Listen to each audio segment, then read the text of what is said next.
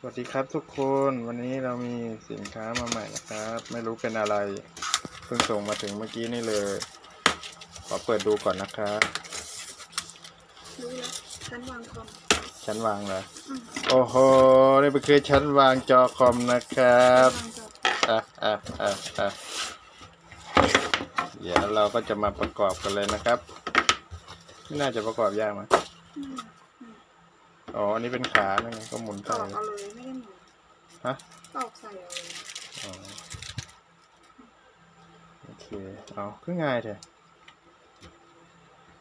โอ้ เออทำไมมันง่ายจังวะอ๋อ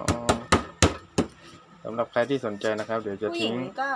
ประกอบได้นะคะ เดี๋ยวจะทิ้งลิงก์สินค้าไว้ให้